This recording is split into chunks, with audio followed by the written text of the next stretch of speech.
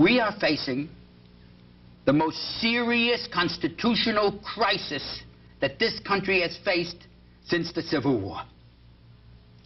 And what is happening is a conscious plan by the most powerful forces in the governmental structure, in the industrial structure, to experiment with the undermining and abandonment of the most elementary constitutional rights of all of the people set forth in the Constitution. Suspending the Constitution of the United States, suspending the Congress and replacing it with a military government, suspending local and state legislatures, suspending the courts, and replacing with military tribunals and establishing detention camps throughout the country in which any person who didn't agree with this proclamation would be thrown in. What the American people must never forget is that when fascism comes to America, it will come wrapped in an American flag. Arthur Kinoy is one of America's greatest fighters for civil liberties. We all owe a great deal to him, and he's going to be with us right now on Alternative Views.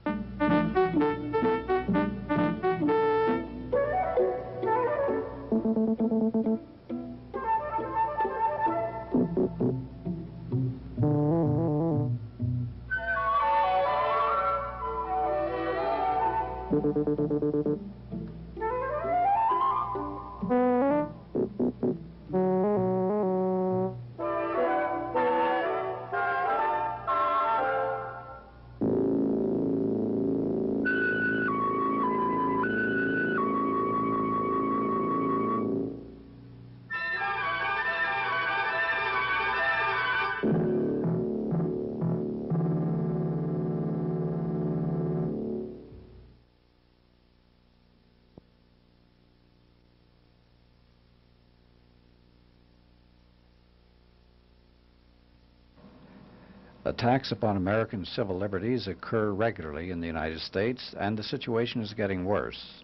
What is happening and why are the focuses of our program with Arthur Kinoy.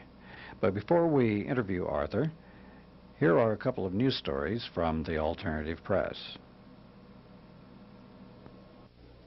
On Sunday, April the 29th, the New York Times Magazine had a story by Seymour Hersh, the Pulitzer Prize winning journalist, called The Iran-Contra Committees, Did They Protect Reagan? According to Hersh, the congressional investigations in the Iran-Contra hearings failed to investigate certain key elements of the scandal. Hersh thus analyzes the limits of the Iran-Contra hearings, what they were afraid to analyze. Hersh said that the congressional committees decided from the beginning not to seek evidence that would lead to impeachment hearings and thus protected Reagan throughout. Hersh's investigations, for instance, reveal that one of Oliver North's associates, James Radzimski, saw two memos that listed the details of the illegal diversion of funds from the Iran arms sales to the Contras. Radzimski was testify was scheduled to testify at the hearings after Oliver North, but North's popularity was so great that the Iran-Contra committees decided to cancel Radzimski's presentation.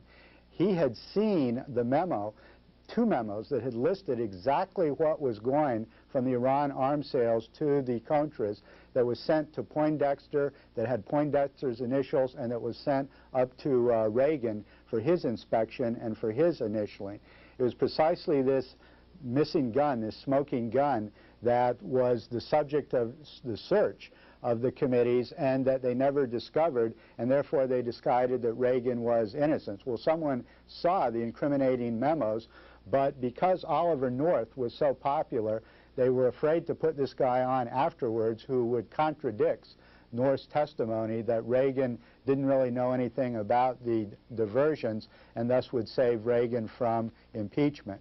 Hersh also revealed in his investigations that the White House had a full backup system to all of its computers which would have allowed retrieval of all documents pertaining to the case, such as the one that Radzimski claims to have seen. The White House, however, refused to put this retrieval system into operation and to provide the committee with its documents on quote-unquote national security grounds. Hersh also revealed that discussion of this computer system led to the revelation that Reagan regularly taped his phone calls with foreign leaders. But this material also was not demanded by the investigating committees. In other words, the investigating committees did not demand the most crucial documents that were in the White House computers that might have implicated Reagan, Bush, Casey, and any number of other White House honchos in a full range of Iran-Contra scandals. But they, for, they did not allow the committees to have access to their retrieval system of their computer, and the committees just went away, went along with this, and thus never really investigated the salient documents pertaining to the tapes. Plus, discovering that Reagan had a recording system revealed the possibility there might be tapes like the Watergate tapes. You remember that during the Watergate hearings, it was revealed that Richard Nixon taped all of his conversations in the White House office. These tapes were subpoenaed after a big struggle. Eventually, the committee got the tapes, and this led to Nixon's impeachment or his resignation. And they could have done the same thing with Reagan, but they refused to go after these tapes. So Hersh shows the extent to which these congressional hearings basically were protecting Reagan from impeachment. He interviewed all kinds of people on these hearings who said, yes, we definitely did not want to impeach Reagan. It was late in his term. He was too old. He was too senile. He wouldn't have known what was going on. It would have been a national embarrassment. There was a lot of national security issues involved. So we just decided to stonewall and thus admitted that they did a uh, cover-up. So the Congress has been doing the same thing with George Bush, because George Bush was more directly involved in all of these machinations than uh, Reagan was. And but the committees, the same thing. You read little bits and pieces here and there about what the committees have done and what they haven't done. And when it gets close to Bush, well, then they cut off the investigation. Did, did he mention that? Hersh only went into very slight aspects of Bush's involvement in this, and thus, in that sense, he participated in the decentering of Bush, trying to make it appear that Reagan was the uh, guy uh, behind this, or the person that should uh, bear the uh, full responsibility for it, whereas it seems that Bush had much more operational involvement in the illegal arms diversion to the uh, Contras and even the sales of arms to the Iranians than uh, Reagan did. Of course, Bush denies he had any involvement whatsoever with any of these scandals, but the investigative report, uh, press, but not uh, Hersh, uh, has fully documented the extent of Bush's involvement. Hersh did come out with one other devastating revelation that the committees covered over. He learned that there was a second illegal diversion of funds from the Iranian arms sales to Israel via a Swiss bank account for covert operations in the Middle East for which there was no legal authority. After initiating investigations of these operations, the Israeli diversion, the committees chose not to discuss them in public or to consider any of the constitutional questions they raised in public uh, hearings. Uh, Hersh's investigations revealed that the committee did not want to endanger disruption of U.S. relations with Israel or want to pursue investigations of the various Israeli operations for the U.S. in places like the Middle East or uh, Central America. In other words, the illegal diversion of funds from the Iranian arms sales to the Contras was well documented and the subject of these hearings. But there was a second illegal diversion of funds that went from the Iranian arms sales to the Israelis who were helping supply the Contras in uh, Central America. We're doing deals with uh, Noriega. We're helping the death squads in uh, El Salvador. And we're doing various things to quote-unquote fight uh, terrorism in the uh, Middle uh, East. And these were supported, funded by the CIA through these illegal um, diversions of funds so that the Israelis were in effect being an arm of the U.S. government, were being an adjunct to the CIA. Mm -hmm. The American press always talking about the economic miracle of Taiwan or Korea or Singapore everywhere. Well, guess where another economic mir uh, miracle is going on? We haven't heard about it. Vietnam. The article surprised me that I saw in The Guardian a while back because it, before that, all we'd heard about the was the terrible things that were happening in Vietnam, the economic misery and the bureaucracy and the they having trouble with the dissatisfaction with the people. So they decided to have a little perestroika of their own. So they dismantled a lot of the bureaucracy. They cut loose the, a lot of the government enterprises and turned them over to private enterprises. They had a lot of the farmers uh, go back and do their own crops instead of in cooperatives or collective farms. And that's the last I'd heard for a long time. And then suddenly we find that, hey, the economy of Vietnam is really strong. Not only strong, they have, uh, they're exporting. They have a, a export surplus. And uh, apparently this is the economy of Vietnam is attracting the multinational corporations. Why? Well, in Indonesia, factory workers get about $60 a month. In Vietnam, it's 30. So, as one uh, international uh, uh, businessman said, I'm bullish on Vietnam. Well, what about the United States? Well, the Americans are still barred from trading or investing in Vietnam. But remember, I said perestroika. I didn't say anything about glasnost. It seems that Vietnam is trying to follow the Chinese model, not the Russian model of uh, restructuring of the economy, because the Vietnamese Communist Party is still maintaining control in its own hands, and they're not going to have political plural, uh, pluralism, even though there's a lot of ferment below. So, it's interesting. Hmm. We'll have time for one more news story after our interview with Arthur Kinoy. So let's have that interview and find out what's happening with civil liberties in the United States. We're extremely pleased to have with us on Alternative Views today Arthur Kinoy, who's a professor of law currently at Rutgers University in Newark, New Jersey. Arthur is a veteran of many decades in the civil rights movement. He's the vice president of the Center for Constitutional Rights. He's a member of the National Board of the Rainbow Coalition. He's author of Rights on Trial, The Odyssey of a People's Lawyer, and he's a longtime member of the National Lawyers Guild. He's in town this week for the National Lawyers Guild meeting in Austin, and he kindly enough has come down to Alternative Views today, and we're going to talk to you about your life and struggles. Yeah. Flying in here to Austin to come to the Guild convention all of a sudden, what hit me just between the, you know, shoulders was the recognition that I was coming down to Texas, and that struck inside of me the whole recollection of what had happened that morning in Washington in 1966, where Texas was deeply involved in my being as you put it, strangled by the U.S. Marshals at the House Un-American Activities Committee. Because what? I then remembered, I closed my eyes on the plane and I was reliving the whole moment. I had been working the last couple of years before that in the Deep South, representing the very courageous black people who were organizing and fighting for their elementary constitutional rights and I was representing the Mississippi Freedom Democratic Party and the Student Nonviolent Coordinating Committee and Dr. King. And I was down in Mississippi, 1966, when I got a call from New York City, and someone got on the phone and said they had just gotten a call from California that eight young students at Berkeley, California, who had engaged in, oh, the most radical activity you can imagine.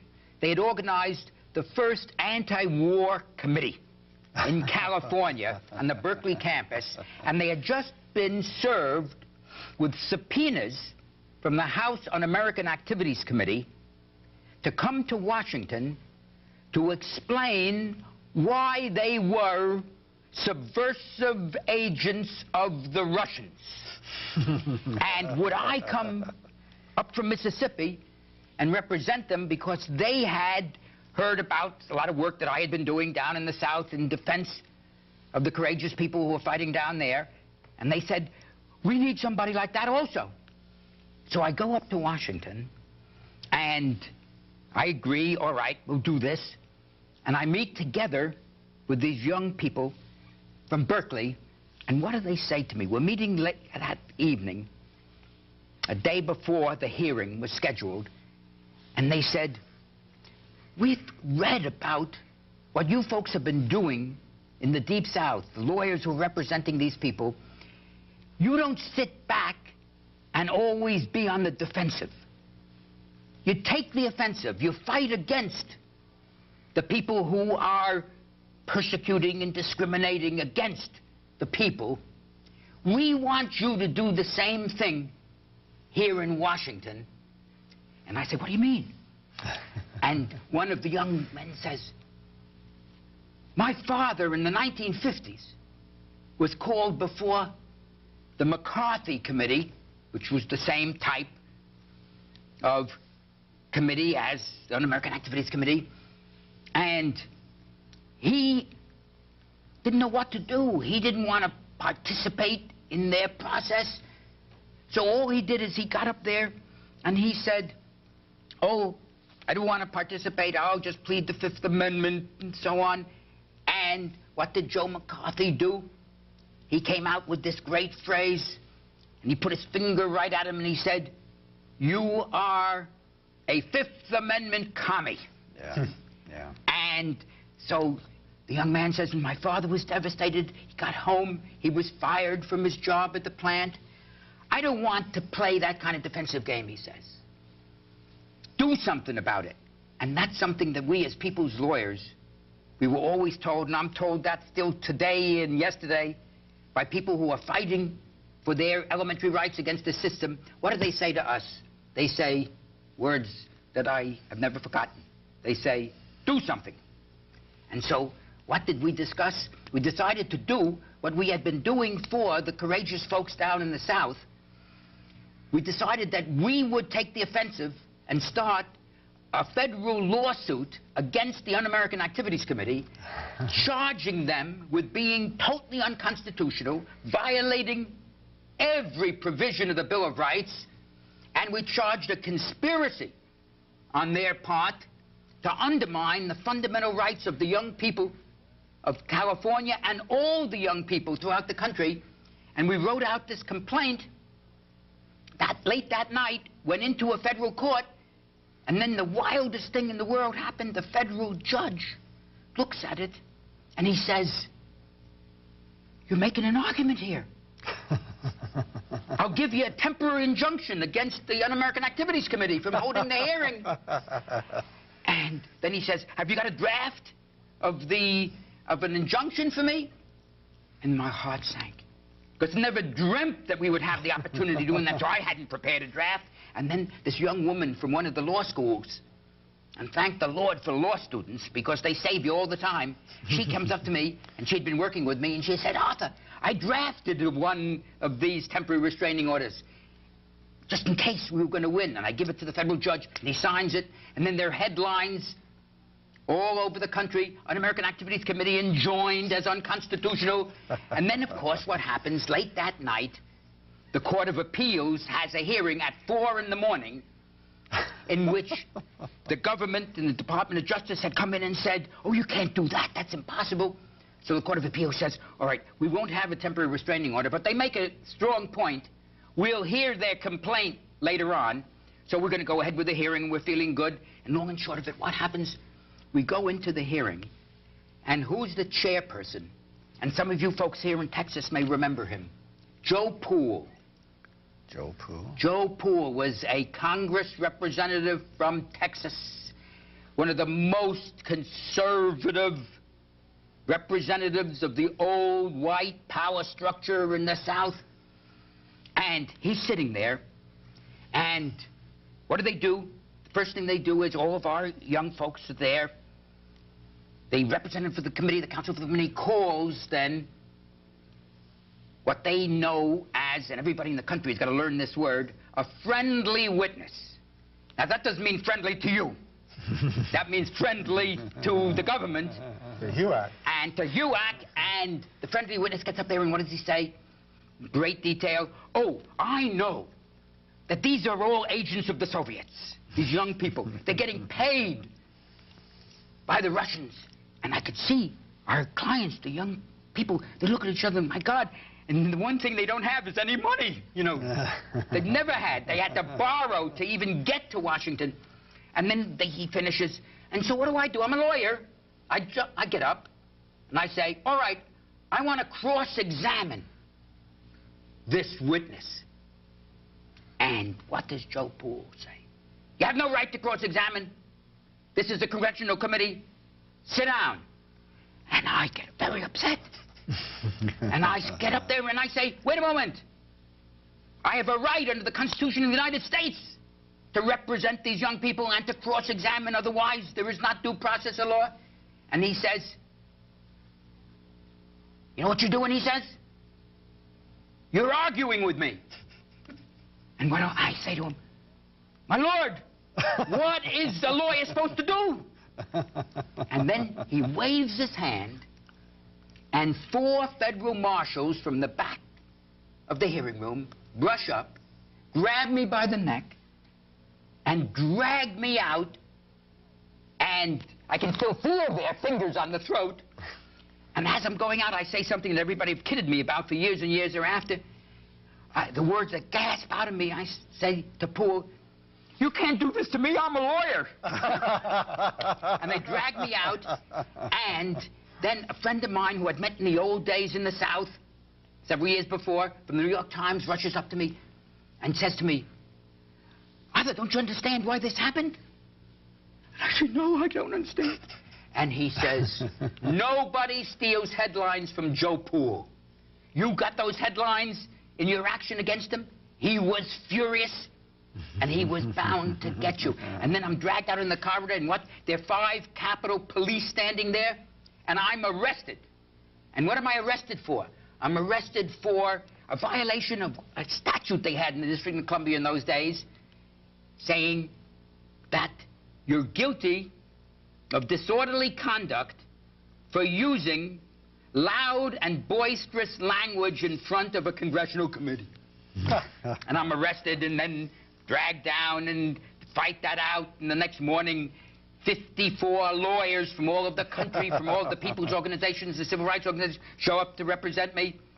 And then these pictures of me being strangled appear on the front page of almost every newspaper in the country. You upstage Joe Pool again. Exactly. and then, long and short of it, what happens?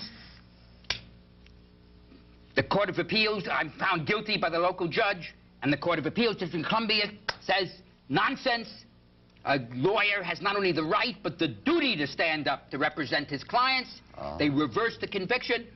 And then, this is late 1966, a whole movement starts in the country in which not only the folks in the anti-war movement, but people in the growing women's movement, people in the American movement all come together and say that the Un-American Activity Committee is the most dangerous instrument against the rights of the people. It's got to go. And a movement starts from one end of the country to the other to abolish the Un-American Activities Committee. And then what happens? In 1973, we get a majority in the House of Representatives, and they vote to abolish the Un-American Activities Committee. And we have a great party that night. And I've learned one thing. In the whole fight for people's rights, one of the most important moments in fighting for people's rights are the parties you have. The victory the victory celebrations. And we're celebrating, and my old friend from the New York Times is there. And he comes up to me and he says, Arthur, you got to realize one thing. The picture of you being strangled and pulled out of HUAC by those marshals did more to help the abolition of that committee than any brief you ever wrote, than any legal argument you ever made. And he looked at me and he says, you got to learn one thing. The one thing the people of this country cannot stand is the sight of a little person being strangled and beaten up by big people. And that was it. So that's a long way round to say that that was the fight. And what we learned out of it, though, was something that has a terrific impact on our work today.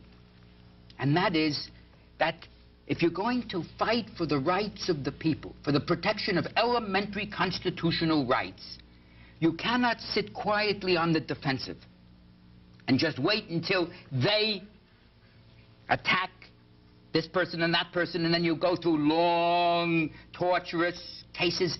You have to think through, together with your clients, the people who are injured and hurt, how to take the offensive. How to utilize the legal system to say to the entire nation that there is a danger to the rights of all of us by what's going on and charging that the administration, the Department of Justice, or the local police, whoever responsible for this, that they must be the defendants. Because they are guilty of what? They are guilty of the most serious crime conspiracy to undermine and destroy the Constitution of the United States. And that's the lesson that I learned out of the work in the 1950s against the McCarthy period, in the 1960s against the effort to destroy black movement and the young people's movement and the women's movement, and the experiences in the struggles that we had in the 50s and 60s against the effort to destroy the trade unions. That you cannot sit back quietly, you have to fight back. Uh, you have been in the middle of all these fights for so many years. Where do you think we are now? We've, uh, a lot of people have been concerned about civil liberties under the Reagan-Bush administrations and a lot of the plans that they have. You think things are, you think that things are getting worse or better? I think that we are facing, and I'll put it very bluntly, and I say this from one end of the country to the other. We are facing the most serious constitutional crisis that this country has faced since the Civil War. And what is happening is a conscious plan by the most powerful forces in the governmental structure, in the industrial structure,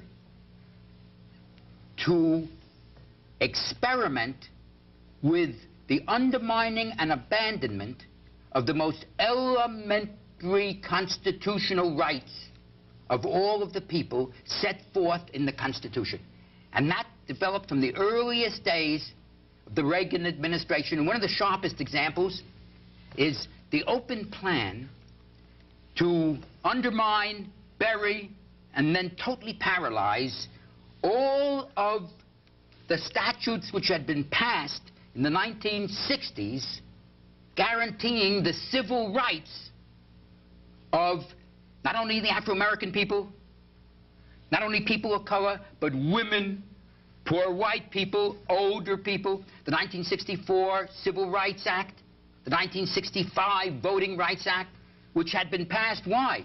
Because millions of people in this country had organized and demanded that rights that they had been denied for hundreds of years must be enforced. All right, we won on that, and we got wonderful ways of going into the federal courts to protect people who are discriminated against in employment, discriminated against in any aspect of life. And what did, from the first days of the Reagan administration, what was announced? That these, the decisions of the Supreme Court were enforcing these statutes were totally without any right whatsoever. And William Bradford Reynolds, sounds like ancient history. Most people don't even remember his name. But he was Assistant Attorney General in charge of civil rights. And friends of mine on Capitol Hill in the middle of the 80s, they grabbed me into their office once. They said with a straight face, Arthur, we're going to put a resolution on the floor of Congress to change William Bradford Reynolds' title. We're going to call him the Assistant Attorney General in charge of burying civil rights. Right. And what was the position that he put forward? That there is no constitutional or statutory authority in this country to enforce group rights. You cannot have any remedy where women are discriminated against in a factory, for example. You cannot have a remedy which says there cannot be discrimination against women. Where black people, you cannot have a remedy. Where unions are discriminated against, union members, you can't have a remedy saying they are entitled to group relief.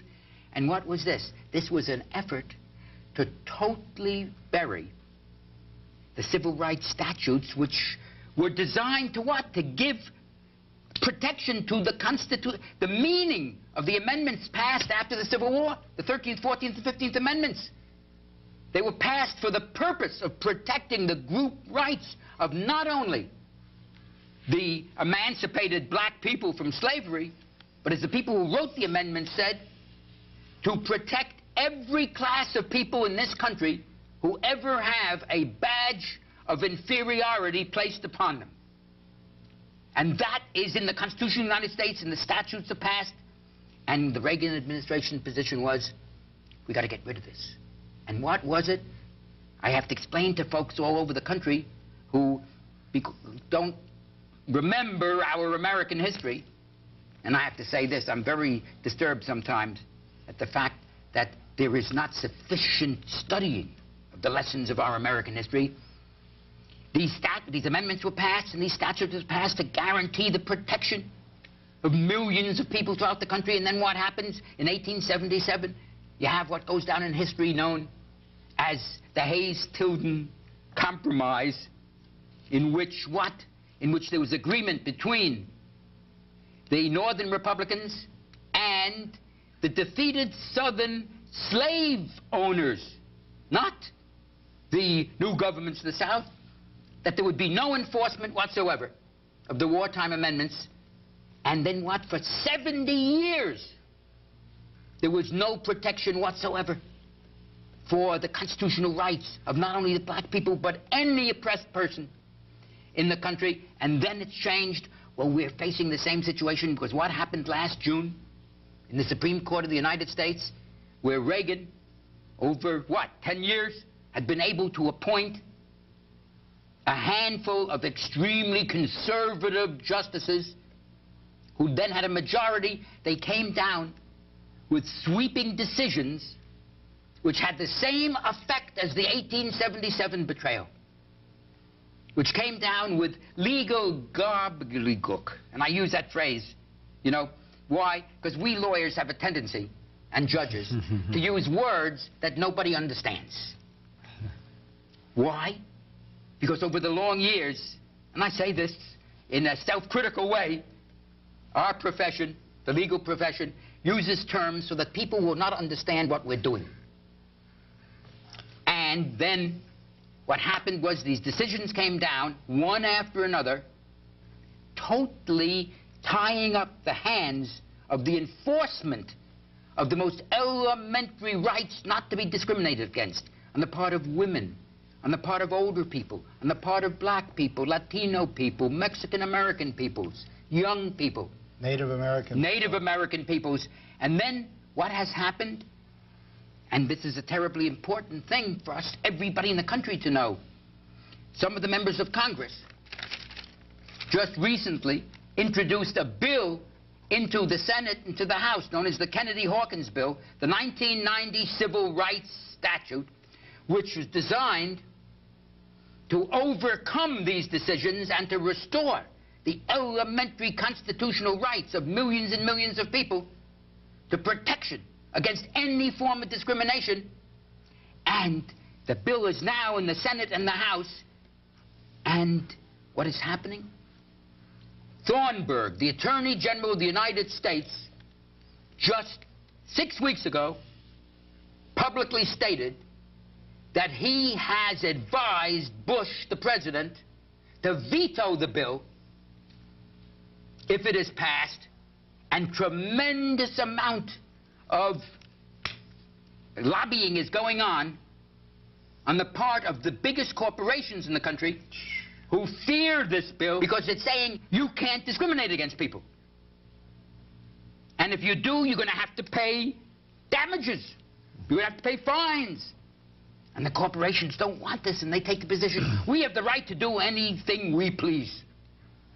Arthur, let's go back a step before Sure. we um, go into this bill in more detail. Why would the Reagan and Bush administration undertake a systematic assault on civil liberties, doing some of the things that you've just described and opposing bills like this uh, Kennedy-Hawkins bill? Is it simply because they're in the uh, hands of uh, corporations and are simply carrying out the policies or the wishes of different uh, corporations? Or why would a government be against civil liberties? It's hard to imagine that they would assault, you know, our very Constitution, our very basic liberties. See, it cuts even deeper than that.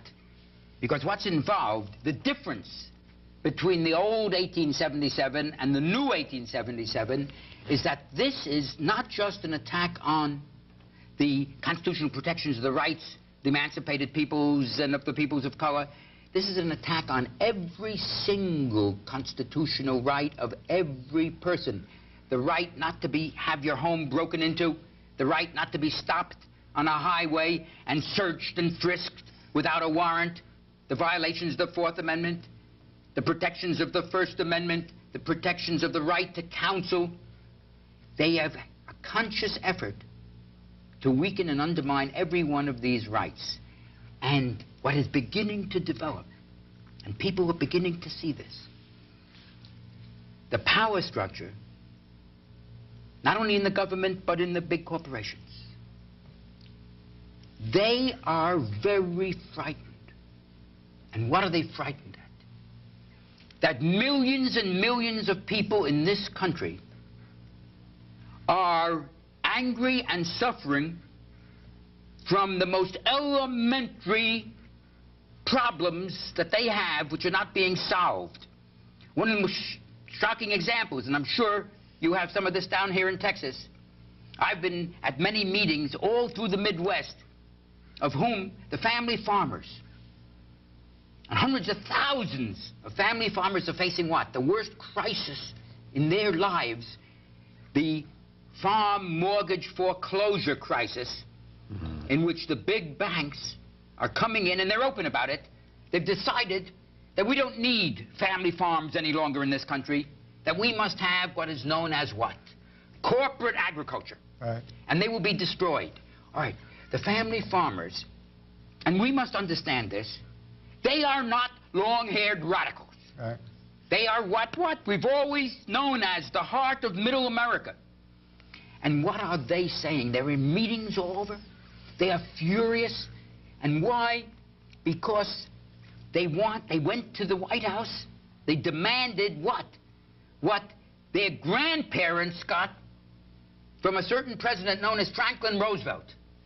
The first thing, and I, I, I was a youngster at that time, I didn't even remember this, but I'll never forget an older farmer saying this to me at a meeting in Kansas that his father had told him that the first thing that Franklin Roosevelt had done when he was elected was to sign a presidential decree declaring a four-year moratorium on farm foreclosures Right.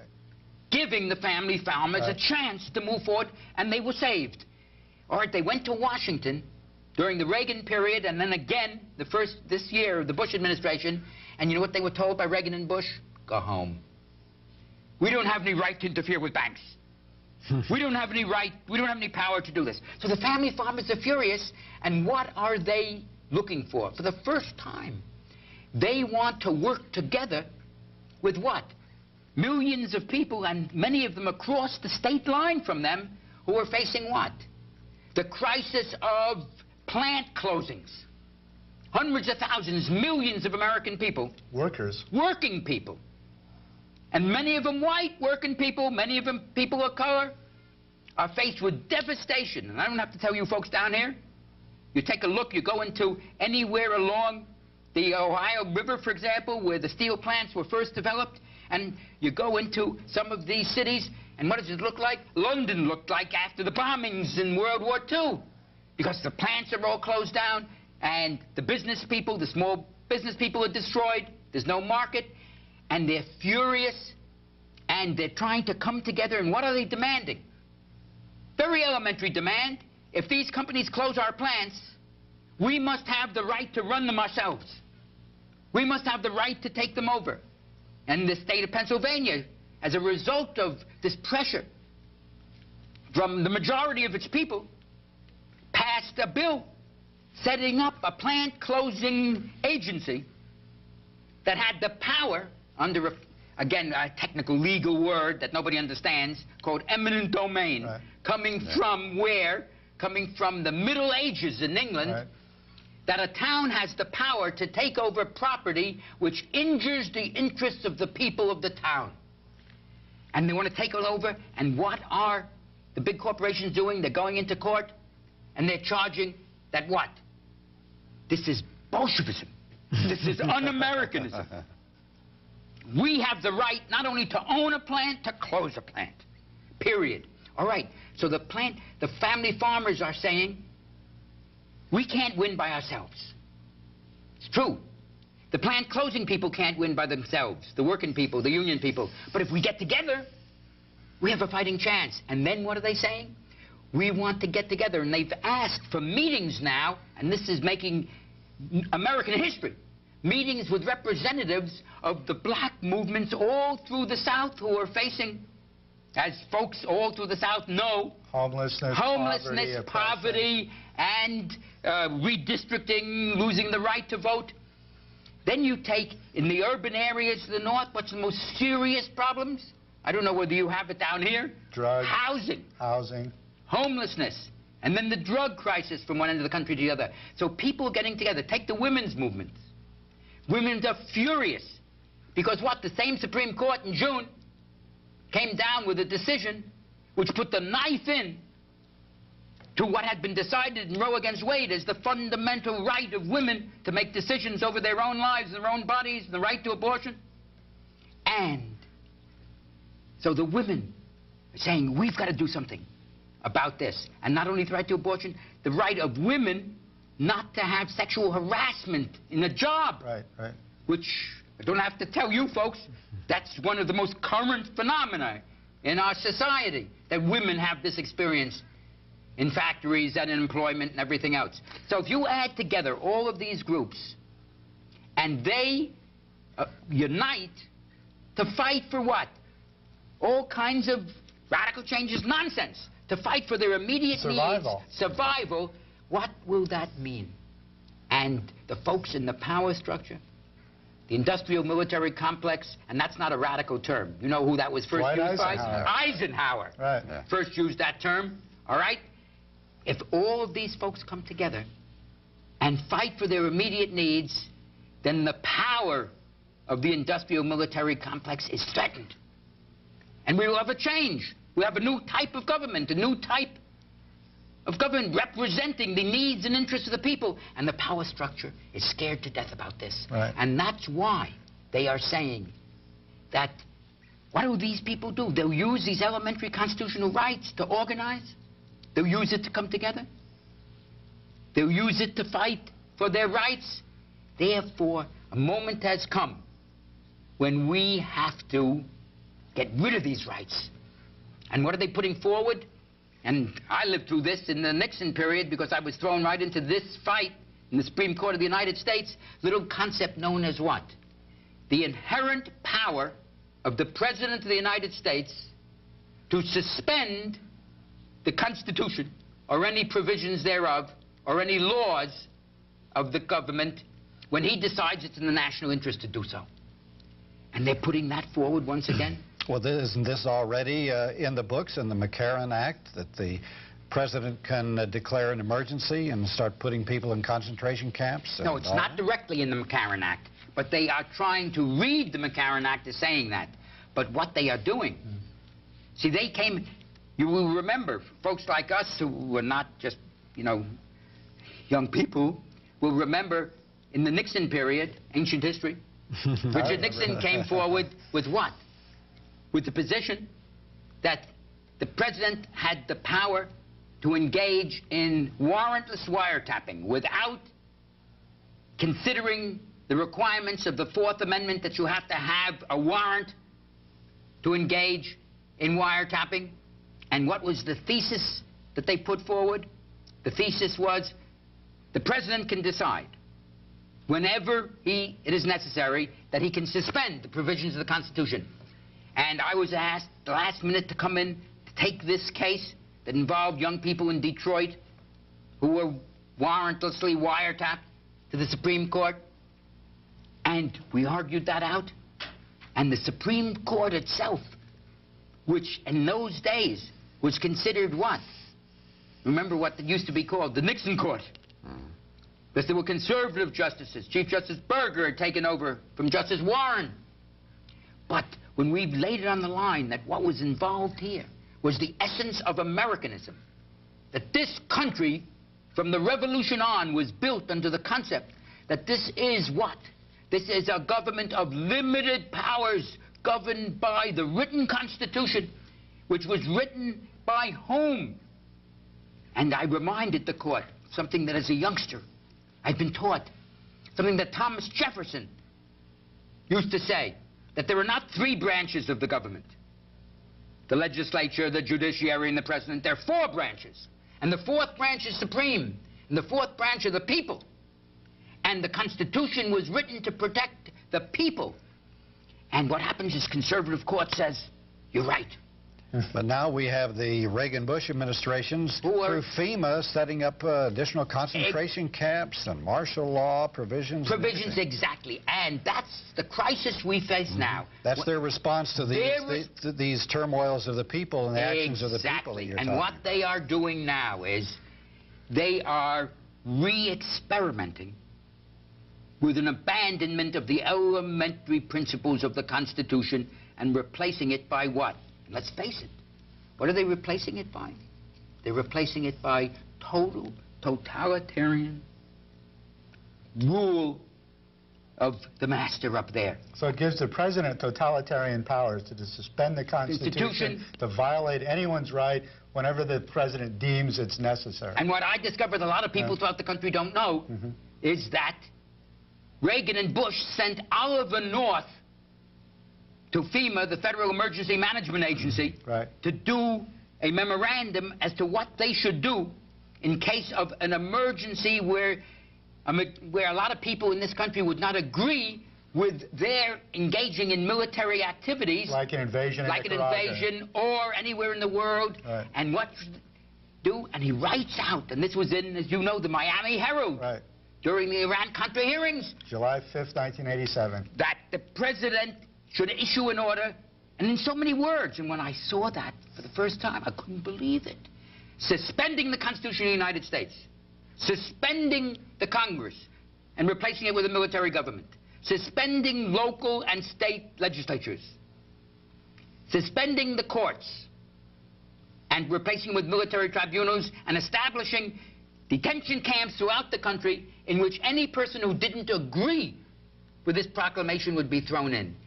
And this is what, and that memorandum, as far as we know, is still sitting on Bush's desk. And yet nobody, except I'm so pleased to hear that you folks on this channel have been discussing this. Because the media had. You never The media never discussed of these threats to civil liberties on the mainstream media. And what's even worse, it isn't just a decision of the president. They've delegated that. They have provisions to delegate this authority to local commanders and police authorities so that they can suspend civil liberties on a local basis on a local whenever they level, want. whenever they want to. Yeah. And I will never forget something that when I was once, thousand years ago, a youngster, a young student, we were in a room and we were coming together to talk out what were we going to do. This was in the mid-30s. What were we going to do as students to try to fight for our rights? And an older person, he was then 23 years old, came into mm-hmm. our room and said something that I have never forgotten. He said, you must never forget something that that greatest student of totalitarianism in this country just said last night. And who is he referring to? Huey Long, the then governor of Louisiana. And what did he tell us Huey Long had said the day before? What the American people must never forget is that when fascism comes to America, it will come wrapped in an American flag. And that's something that I have never forgotten. Because that's the problem that we face today. And we have to be very open about this. What are we facing? We're facing the road to fascism. And when we understand that, millions and millions of American people will stand up and will fight for the elementary preservation of the American system of government. Yes, they're the un-Americans. We're the conservatives talking We're about fighting for the- civil liberties and constitutional Exactly. rights, etc. And when we understand that, and we discuss this, and I find that when I discuss this with folks, with high school students, with college students, with folks in unions and community organizations, they haven't heard any of this, but when they hear it, they're ready to move. And they want to move. It uh-huh. seems like the sort of lesson of your life is that if we don't struggle for our elementary civil liberties, we're allowing the road to fascism to take place in our lifetime. And those of us that want to mm-hmm. prevent fascism or repressive government from achieving uh, hegemony in the United States have to fight for these civil liberties. And Arthur, you fought for these for decades, and we can only applaud and admire your heroic struggles on behalf of our civil liberties. So thank you for coming, and thank you for existing. And I can say that it has been exciting for me to have been down here in Austin the last two days at the Guild Convention where so many students from the University of Texas were there and in an excited way were discussing what they have to do in order to fight for these elementary rights. So there is some hope out there. Great hope. Great, Thank you. And now for one last news story from the alternative press. It concerns civil liberties and our political police. In uh, 1983, a 12-year-old Pennsylvania boy was studying geography in school. And he was interested, got real interested in other lands around the globe. So he wrote a form letter to all 150 uh, member nations of the United Nations. Dear sir, please send me general information about your country. Thank you for your time. Sincerely, Todd Patterson. Well, it was a big mistake. That's when his trouble started. Uh, as the responses began to come in a few weeks later, uh, they noticed, Todd and his family noticed that uh, some of the envelopes were torn. In fact, they were torn open. And uh, this problem proceeded to get worse and worse and worse until uh, eventually 90% of all the mail coming to the house was torn in some way. Well, uh, after a few months, the problem gradually disappeared and there was no more torn mail and nobody thought much about it. And then Todd uh, wasn't uh, all that satisfied with the responses he got from some of the countries, so he wrote other letters. This time, uh, he wrote them on stationery from his dad's company. he crossed out the address, you know, and wrote his in up in the corner. well, once again, the mail started arriving at the house all torn up. In addition, this time the telephones began to act strangely. There's lots of static and uh, uh, buzzings and clickings in the background. And it was not only at the Patterson residence, it also happened at his dad's, Todd's dad's company as well. So uh, both phones got funky.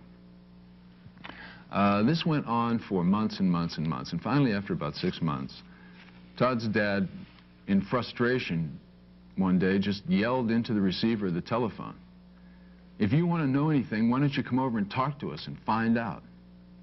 Two days later, the doorbell rang. Wow.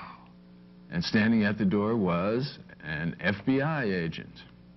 He introduced himself, said he'd come to uh, uh, talk about these letters to other countries. well, the family showed him around. Uh, they showed him Todd's room, and they offered to show him the files, uh, but the agent declined. They give him a urine test? That's incredible. this gets better. And um, uh, then he left. Uh, when Todd got home from school, he called the agent, and uh, they had a nice chat, and uh, that was that. Well, six months later, uh, the Soviets at the United Nations sent Todd a letter and invited him to come and spend some time with him and look around and pick up some stuff in person.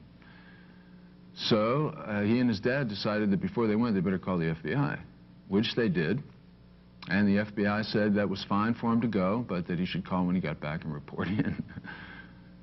well, they went over and they picked up a load of stuff. And as they were leaving, they noticed a guy, believe it or not, in a dark trench coat and a hat following them. Uh, they got home, and Todd called uh, the agent, reported uh, on his, his uh, uh, visit, and the agent was very friendly, and uh, they hung up. That was the end of uh, the incident. Uh, well, from 1984 to 1987, there were no more problems. Todd grew up, uh, and in his civics class in high school, they learned about the Freedom of Information Act. Well, Todd knew there had been some kind of FBI investigation of him, so uh, he decided to uh, look into uh, the Freedom of Information Act and try and find out what the FBI had on him. Well, he started writing letters to them, and after eight months of very difficult, uh, strenuous correspondence, um, he received his file. He received six pages. The rest was classified and could only be released under, with, under legal uh, constraints or legal action. Almost all of those six pages were blacked out. So Todd and his dad um, were offended. and they went to the ACLU and said, is there anything we could do? The ACLU took the case. Uh, they found out that Todd's record approached 100 pages. Uh, two indices that cross-referenced him to other uh, uh FBI files uh, had been inadvertently lost. And uh, in court, they went to court, and the judge suddenly issued a ruling against Todd. His ruling was based on an in-camera uh, investigation of the secret files, or examination of the secret files, with an FBI agent there. Unfortunately, neither Todd nor his lawyer, the ACLU, uh, were notified. Uh, Todd has appealed the case, but so far uh, there's been no word, and he has still not seen what's in his FBI files. He's now a 19-year-old college student in New York, and uh, he's certainly got an education from the FBI. Good civics lesson. exactly, Civics 101. And that's Alternative Views for this time. Frequently hear from viewers who request a list of news publications, which we use on Alternative Views, and also a reading list for U.S. power structure in the mass media. If you would like to have these, send a stamped, self-addressed envelope to the Alternative Information Network, P.O. Box 7279, Austin, Texas 78713. You must send a self-addressed stamped envelope. We can also give you information on how to get some of John Stockwell's publications. We'd like to thank our crew for our production, Brian Lynch, Karen Vines, Eric Eubank, and Kevin L. West. Alternative Views is a presentation of the Alternative Information Network, P.O. Box 7279, Austin, Texas 78713. If you'd like to contact us, that's our address. Goodbye.